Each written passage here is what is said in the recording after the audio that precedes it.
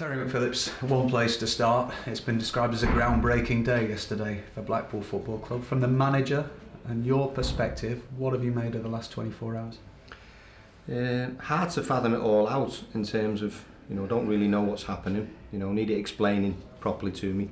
Um, but we will just get on with it. You know, the players will be in and we'll have a meeting and we'll talk about it. We'll tell them what we know, which isn't a lot, and uh, and we'll go training and get prepared for the challenge. Is it a concerning time for you and the players, bearing in mind you, you're in a little bit of uncertainty at the moment, or maybe more than a little bit? I think there's a little bit of limbo, you know, um, in terms of points deduction and stuff like that. So I'm sure the players will want to know. You know, we'll all want to know, and supporters will want to know about that. Um, hopefully that doesn't happen.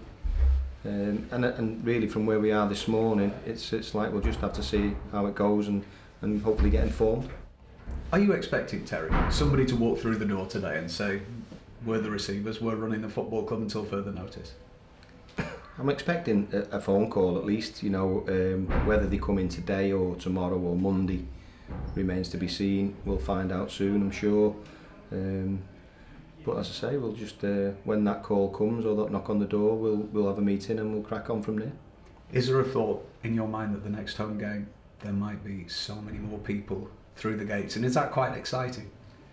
Well, you know, the thought of Bloomfield being really packed out, like you know, we've just gone to Sunderland, Portsmouth away, and stuff like that, and to have a big crowd here to cheer us on.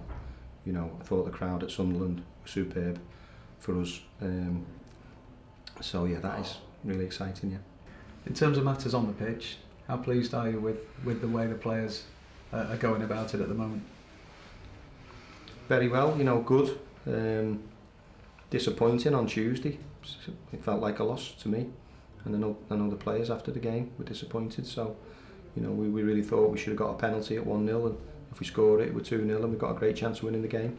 So, um, but in general, you know, the, the boys are doing ever so well. I think we're six unbeaten. We've kept four clean sheets in that, and um, we've just got to keep going. Now. What sort of game are you expecting this weekend at the Valley? Hard game, like they all are. That what they play football. I watched them at Fleetwood there when we got the Accrington game called off a week or so ago, and um, they play football, play a diamond, um, two up fronts. I expect a harder game than they give Fleetwood because um, they'll be at home and uh, they've got some good players, that's for sure. And uh, but we'll go down there and give them a match.